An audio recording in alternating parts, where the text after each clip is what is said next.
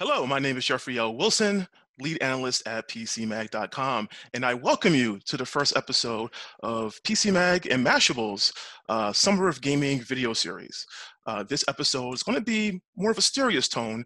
We're going to discuss uh, the George Floyd murder by the hands of the police and how it's impacted the gaming community. Um, I have two two guests here, Jordan and Je- and Jess. Yes. How are you guys doing? Hello. Hi. I'm good. Yeah. Within All right. reason.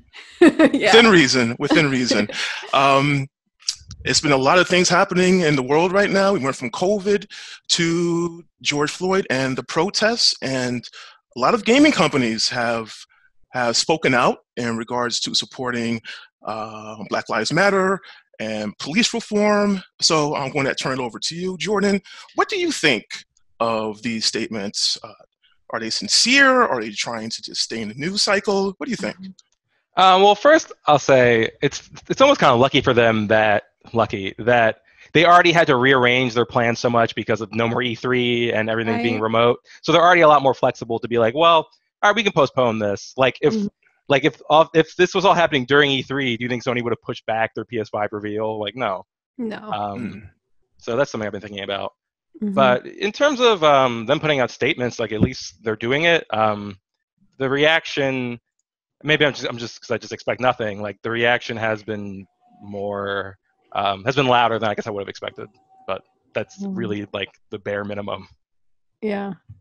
Yeah, I kind of I, I kind of feel the same way. I was kind of shocked that so many companies actually took a hard stance, which is something that you don't usually get from uh, from these big companies.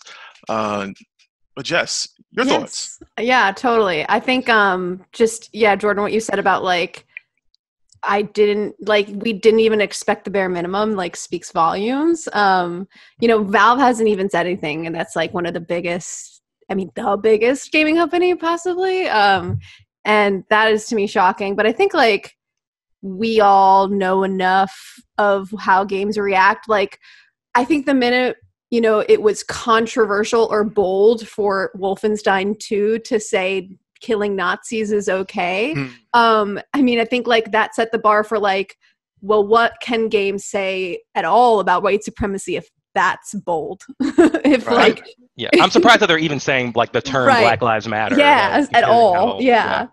Well, well, some companies are. Some some companies are Right, taking a more a more a more nuanced approach and they're saying that we we support justice and for all people. You know. Yeah. yeah. Um, but in, in terms of very specific instances, like for example, uh, I believe it was um, the Call of Duty crew.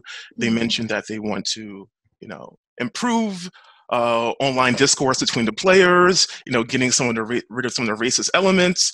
And uh, my thought was, it took this for you to, yeah. to address Yeah. that. Like, why did it take so long? Yeah. know, Exactly.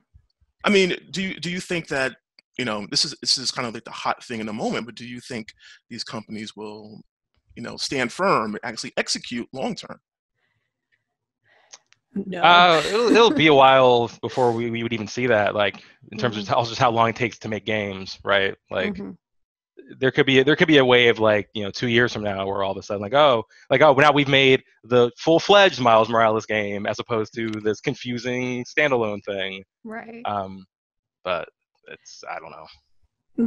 the the Miles Morales example is I think like particularly pertinent because um like there I forget who it was. Ugh, I'm gonna I hate that I forgot, but um someone wrote an article from the first um Spider-Man game which was like they turned Spider-Man into a cop and it sucks.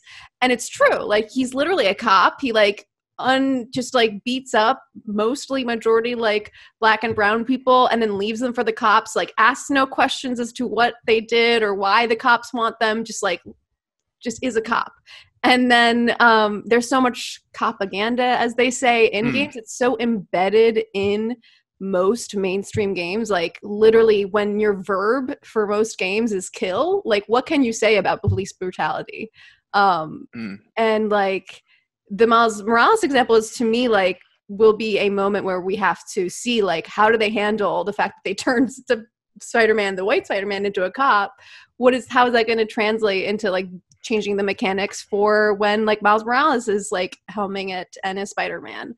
Um, are they going to now he's going to be that? invisible when doing this cop stuff. so just yeah, It erasing him altogether. Yeah, Shameik Moore reprising his role. Yeah, that's, that's a good point. And in regards that you know, they're putting out the Spider-Man uh, game uh, this fall, I believe. Yeah, PS5 launch. Sounds like. yeah. They're probably neck deep into the mechanics of that game already.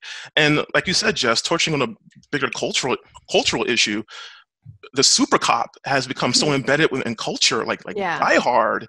Um, Yeah. And if you want to go a step further, like how many like military one man armies, like with Commando and things like that. hmm So, do you think that, you know, in pop culture and in gaming, we'll see a change in that going forward? Well, I mean, like they're taking cops off air. I mean, that's huge. I mean, you know, uh, cops the show, not just like all cops. um, Right. But uh, but they've taken. I know. I wish. Um, but uh, but the, I, it does seem to me that like TV, and it might be because of just how cycles work in games. Like you said, like granted, like you know, game cycles take so much longer to make than TV. Um, and like pulling something off the air, you know, just has different is different than like let's rewrite all of the mechanics of video games. Um, and so I think that it's a more complicated and question and and, and for them to address, but um, and I don't know if I trust them to. Like I don't know, and but there are I think interesting things that games could do if you think about it as a, a system uh, as a medium that is based in expressing things through systems wouldn't it be the ideal thing to express and deal with systemic injustice like you know race and police brutality? Like wouldn't you wouldn't you think something that like is literally at the art of systems?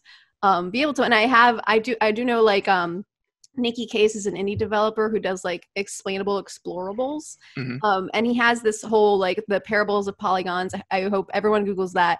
It has a really, he uses systems to kind of explain how injustice kind of Hmm. happens, like systemically. Um, and, and it's really interesting. And I think it, that could be amazing if we saw more of that kind of innovation in mainstream games. But I just don't trust them to do that. Yeah, yet. they put out the Mafia trilogy again, and Mafia Uh-huh. Three, while it has some issues, I think actually is like for a mainstream game, like, Right. systemizes racism in a ways that like aren't Huh. totally em- embarrassing. Um, right. Right. I Does it, it has it has a but it has the actual like racism system, right? Uh, Yeah, something to like- that point, right? yeah, um, when you're in like wider parts of town, like the police will just hassle you more. Um, Oh, that's Uh, crazy. I had no idea. yeah. yeah, the game's all right. Yeah. I'll check that Um, out. The game, the article you were talking about is they turned Spider-Man into a damn cop, and it Yeah. sucks. um, from Tom Ley on Deadspin, famous website. yes. Yes. R.I.P. So let me ask you, what would you like to see happen? Uh, many companies are talking about putting up uh, money for for funds Mhm. towards like black developers to give them more spotlight. Yeah. Um, others are, are are are simply making statements.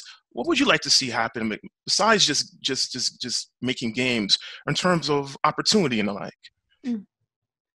Um, I was trying to think of some things, but then I saw uh, Sean, uh, creator of Treachery and Beat, Beat Down City, um, posted a tweet that has his ideas that I'm just going to crib from because they're really sure, good. sure. Um, well, uh, yeah, you, yeah. Um, it's, you know, make sure like like actually like funding black creators, like not just Mhm. um, just Yes. not just leaving representation like for like the fictional characters.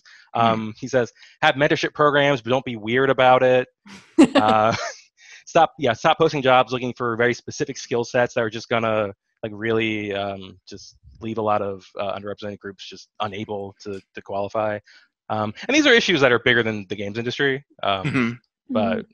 But Those- certainly those are a- a issues that of the games industry. That plague that plague a lot of industries. yeah, Um, and and personally, one of the issues I think is a factor is that a lot of people are also uh, blind to their biases, um, and they hire a lot of people who are their friends or people Mhm. they went to school with, and if all those people are exactly like you, Yeah. there's no door open for anyone else. Totally. And of course, there's this, this good old fashioned racism. Yes. Always rears its head. can't can't can't forget about that one. Yeah. yeah. But you know, in ways, these old-fashioned racism, you can see it and be like, all right, I know what that Mhm. is. Whereas Right. the more insidious stuff, like you don't even know, and sometimes the people don't even like consciously know. Right, Yeah. right. I had to. I- at a, a, a previous uh, in my previous uh, how do I put this gently? A previous employer, I had to check someone because I was uh, in a hoodie walking around because the air conditioning was up too high, and they said to me, "Why are you looking so menacing?" Oh my so we had to have a, a nice uh, a nice a nice chat about that. Ugh. and see, that should not be your job. That's where, like, obviously, I'm white. I don't know, like reveal. Um, that's our job, you know. Like that. That should not be your. If like anybody was like hearing that, this is our problem to deal with, and uh, like that is to me what I don't trust a lot of video game companies to do is like I mean, we've seen it with reporting on on like women's issues, um, you know, in in Riot Games, and I don't want to at all divorce those two things because you know women of color are severe. Like if we think you know black people in general are underrepresented, women are underrepresented, women of color are severely, and specifically black women are very very underrepresented, and like when you see that the kind of cultures built around them, it's just like you know the majority um whoever is in the majority whether it's men or you know white people or an intersection of both um there's very little to call it like no one has an incentive to call each other out and there shouldn't be an incentive right? But there's a huge risk involved in calling each other's behaviors out. Um and like you're suddenly like the woke one that like you know everyone's scared of.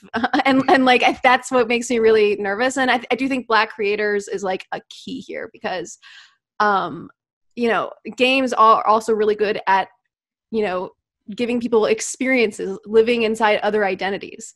And like man wouldn't that be great if we had more Mm. black creators making like lived experiences? Um, and for that we need uh, them on the dev- on the designer and developer side. Like it's not Mhm. just a matter of like visual representation which is fantastic. That's half the battle not even half maybe like a, a quarter.